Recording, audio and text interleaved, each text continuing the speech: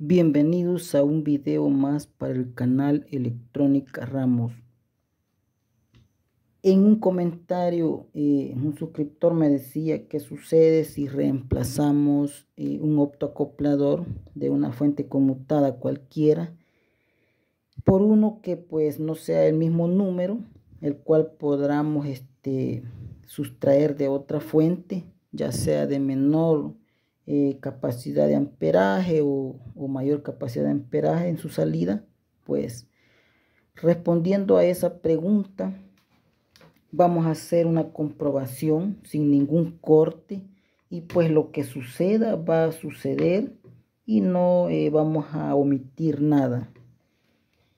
Tengo aquí dos optoacopladores de dos fuentes diferentes. Esta fuente en su salida entregaba 32 voltios como podemos observar. Y tengo por aquí otra fuente de un DVD el cual pues tenía eh, unos voltajes de salida ahí de 12 voltios 5 eh, voltios eh, y dos conexiones negativas. Así que para ello vamos a sustraer el primer autoacoplador de la fuente de DVD porque esta era de un DVD y vamos a ver qué es lo que sucede. Un punto muy importante a tomar en cuenta. Cuando vayamos a reemplazar un optoacoplador, hay que tomar en cuenta el pin número 1, el cual de fábrica viene eh, identificado. Y como podemos observar, pues aquí traen un puntito, el cual ese nos indica que es el pin número 1. Siguiendo los pines de conexión, pues el siguiente que tenemos es el pin número 2. Luego tenemos el pin número 3 y el número 4. Los cuales 3 y 4 corresponden a la etapa primaria y pin 1 y 2 corresponden al, al primario, perdón, y el pin 3, 4 a la etapa primaria, pero de la etapa caliente. ¿ok?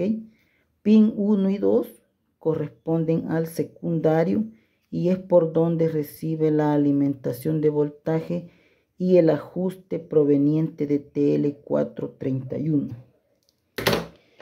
Bien amigos, vamos a sustraer el optoacoplador con la ayuda de nuestro cautín y el extractor de estaño. Para ello, pues, voy a retirar este capacitor para que ustedes puedan ver al momento que, que se sustrae lo que es el optoacoplador.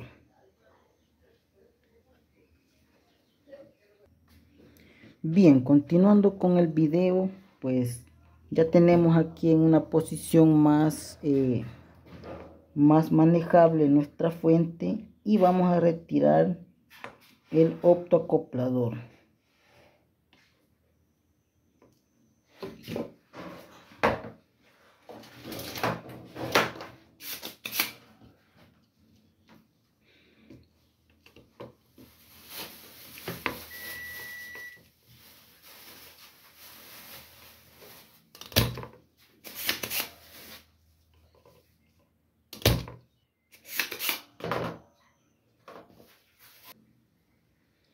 Una vez que ya tenemos desoldados los pines de conexión, sustraemos el optoacoplador de nuestra fuente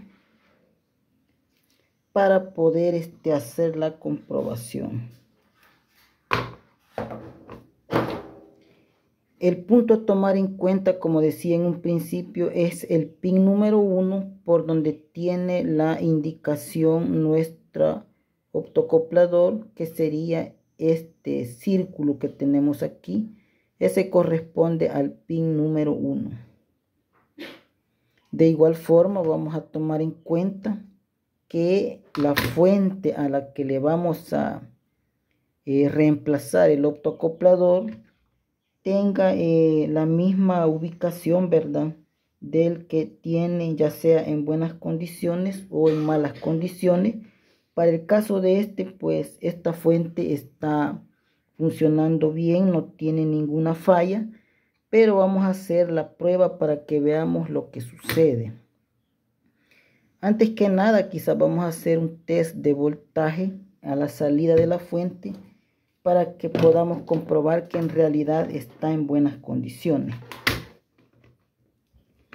Conectamos la alimentación y esta fuente pues en su salida me entrega 12 eh, voltios. Como podemos ver ahí viene identificado la salida.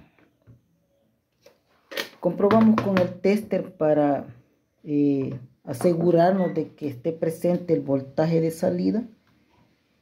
Y pues como podemos observar tenemos 12.5. Bien, una vez comprobado eso, desconectamos nuestra fuente. También vamos a descargar el capacitor como en todas las pruebas que hacemos. En este caso pues ya se había descargado, no tiene voltaje. Y ahora vamos a sustraer el optoacoplador, el cual está en este lado. Como podemos observar pues a la entrada del pin número 1 también tiene un círculo el cual nos indica que esa conexión es el pin número 1 el cual vamos a conectar de la misma manera el reemplazo.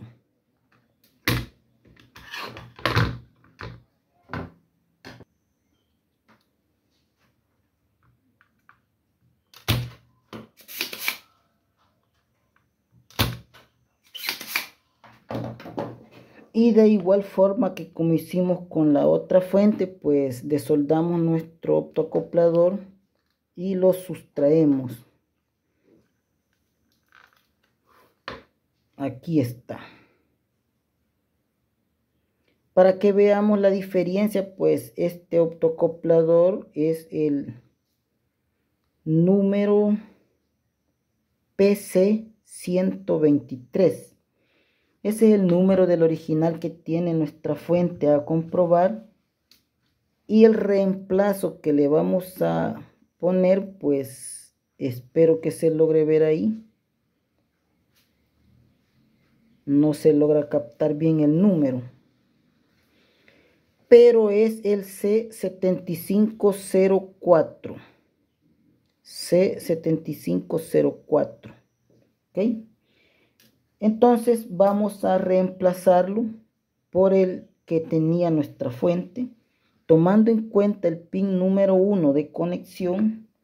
De igual forma lo vamos a eh, conectar en la misma posición que tenía el original.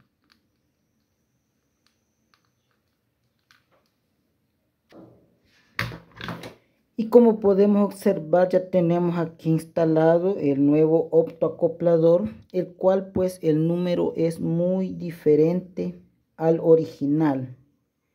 Así que lo voy a conectar a la red eléctrica para que veamos lo que sucede. Una vez estando conectado, vamos a comprobar el voltaje de salida, a ver si hemos tenido alguna diferencia o si no tenemos presencia de voltaje, ¿verdad?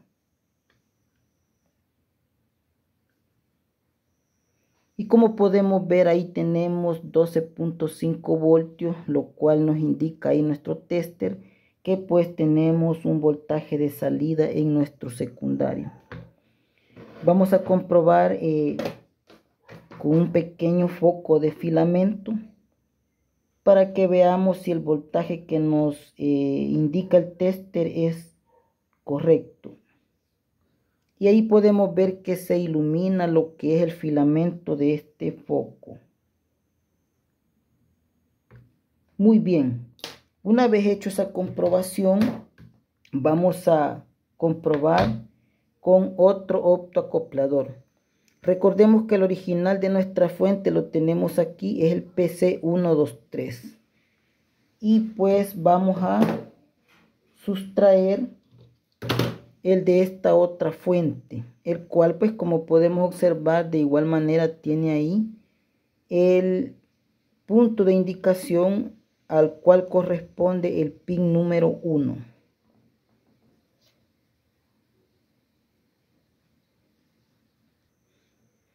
El número de este optoacoplador que tiene esta fuente es el 817A. O sea, un número bastante diferente eh, al original de nuestra fuente. Así que lo vamos a retirar y vamos a hacer la comprobación.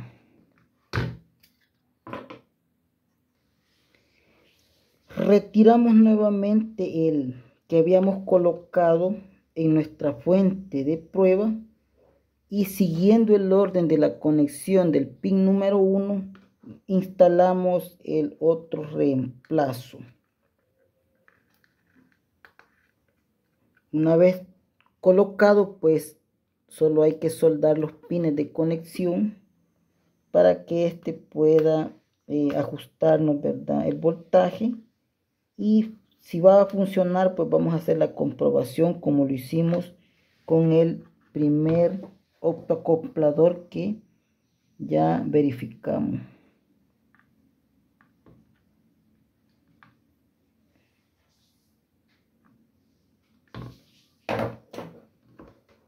Una vez soldados los pines de conexión, pasamos a hacer la comprobación del funcionamiento.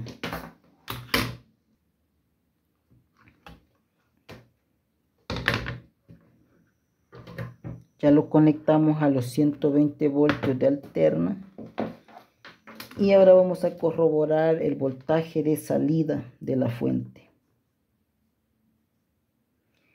Y como en el caso anterior, ahí podemos observar que tenemos 12.5 voltios de salida en la secundaria de nuestra fuente.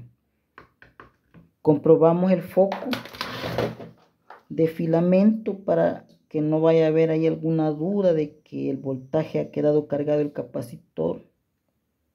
Ahí podemos observar que tenemos eh, brillo en nuestro foco el cual pues nos está ahí confirmando que tenemos un voltaje constante en la salida. Bien amigos, en resumen, podemos llegar a la conclusión de que si nosotros reemplazamos el optocoplador de una fuente conmutada por otro de una fuente diferente a la que nosotros vamos a reparar, siempre y cuando tomemos en cuenta los pines de conexión como corresponden, pues vamos a tener lo que es el funcionamiento correcto y no vamos a tener pérdida ni de voltaje y pues nuestra fuente va a trabajar de una manera correcta como venía en un principio.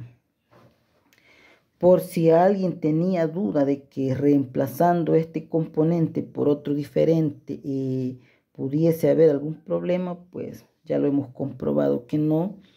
En mi caso, pues me ha tocado hacer reparaciones eh, en algunos equipos de sonido que por algunas veces en temas de corrosión, ¿verdad? Daña lo que es este, los pines de conexión de estos componentes. Y pues me ha tocado reemplazarlos por otros de otro tipo de fuentes. Y pues esto funciona de una manera correcta. Y si han llegado hasta esta parte del video, pues una vez más no olviden ahí, ¿verdad? Dejar un like, suscribirse al canal y activar la campanita de notificaciones para que YouTube les avise cuando subamos un nuevo video. Gracias.